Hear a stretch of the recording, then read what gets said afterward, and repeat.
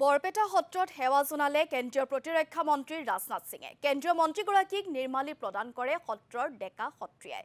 মূল কীৰ্তনঘৰৰ গুৰু আসনকো সেৱা জনালে মন্ত্ৰীগৰাকীয়ে। বৰপেটা সত্ৰ দৰ্শন কৰিবলৈ পাই সৌভাগ্যৱান বুলি ক'লে কেন্দ্ৰীয় প্ৰতিৰক্ষা মন্ত্ৰী ৰাজনাথ সিঙে।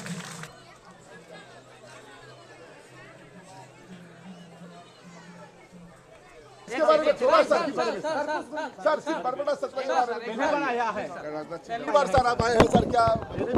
आया है नहीं यह एक एक स्पिरिचुअल सेंटर है आध्यात्मिक केंद्र है और इसकी बहुत ही मान्यता है। और आज जब मैं दर्शन करने गया तो मुझे एक, एक विशेष प्रकार का वाइब्रेशन भी यहाँ पर फील हुआ है। और यहाँ आकर मुझे बेहद खुशी हुई है। और मैं- मैं मानता हूँ कि यहाँ आना मेरा सौभाग्य था।